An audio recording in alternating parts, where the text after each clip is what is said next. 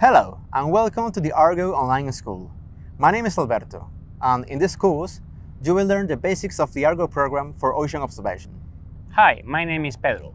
We assume since you have joined this course that you are somewhat familiar with the program or you have somehow worked with data from some observation system for different scientific purposes. If this is not the case, don't worry. But first of all, let us ask you, why do you think that we need marine environment data? Why is it so important to study the ocean? Play the next video and find out.